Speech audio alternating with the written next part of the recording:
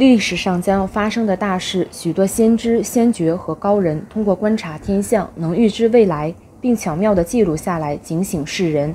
如诸葛亮写了《马前课》，邵雍写了《梅花诗》，刘伯温写了《烧饼歌》《刘伯温碑记》等等。陕西太白山刘伯温碑记是在一场地震中被震出来的，几年前才流传于民间。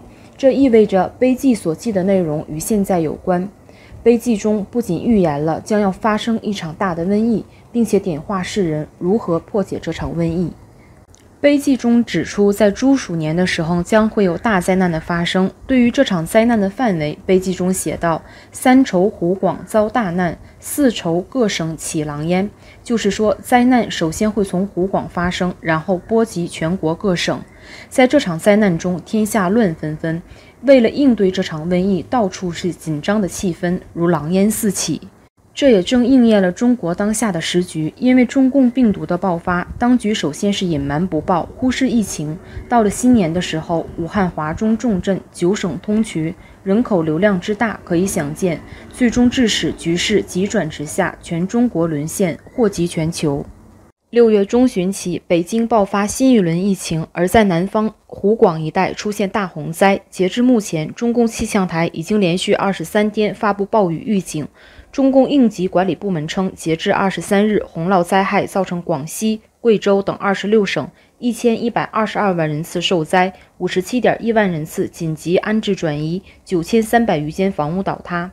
截至六月二十四日，中央气象台已经连续二十三天发布暴雨预警，华中、华南多个省市出现严重洪灾，山泥倾泻，十六个省市一百九十八条河流发生超越警戒线以上洪水。中央气象台继续发布暴雨黄色预警，称长江中下游九百八十座水库紧急泄洪，位于上游的三峡、葛洲坝、西洛渡、向家坝水电站全开运行，减慢洪峰。中共水利部二十四日发洪水灾害预警，江西、湖南等地也将出现洪灾，灾情仍在进一步扩大当中。南方洪灾泛滥之时，北京的疫情呈失控状态，已经蔓延了大半个中国。目前，二十多个省市警告市民不要去北京。有分析认为，各地主动隔离北京，看似防疫，实则是在解体中共、改朝换代的前奏。看中国评论员郑中元说。疫情加重，连中南海高层都逃离了，这个中央集权还会存在吗？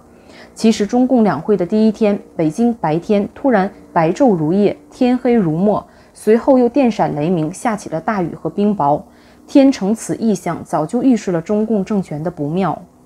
如今各地各自为政，主动隔离北京，看似防疫的需求，实则可能是解体中共、改朝换代的前奏。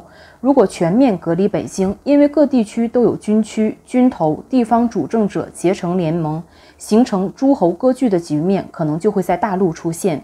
此局面也正应验了刘伯温碑记里面预言中的“三筹湖广遭大难，四筹各省起狼烟”。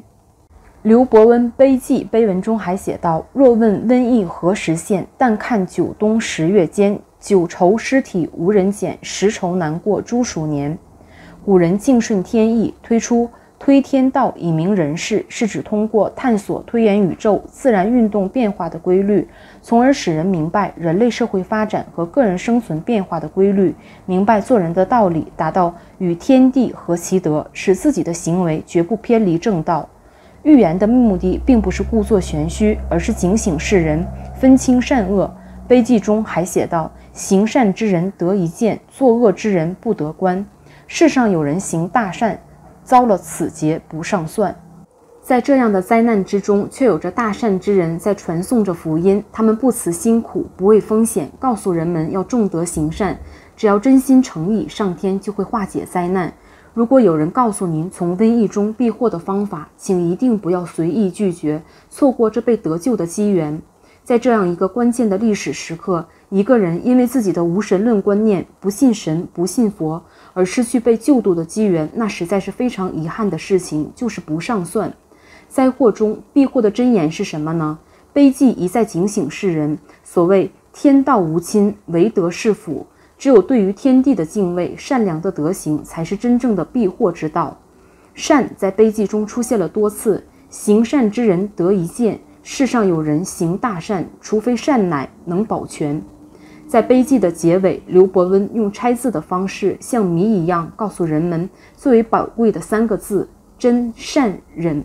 中国文字蕴藏了无尽的智慧，给后世留下了探寻天道真机的线索。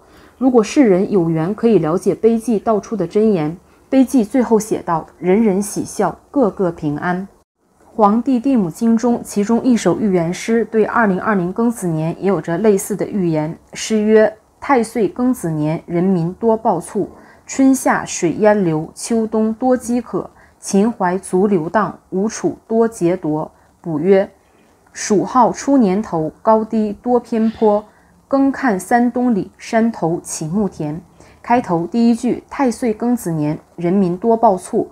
指出了庚子年二零二零整个的运势，这一年民众会突然死亡很多人。秦淮足流荡，吴楚多劫夺，指出了重灾区在吴楚、秦淮，这和现在的情况也不谋而合。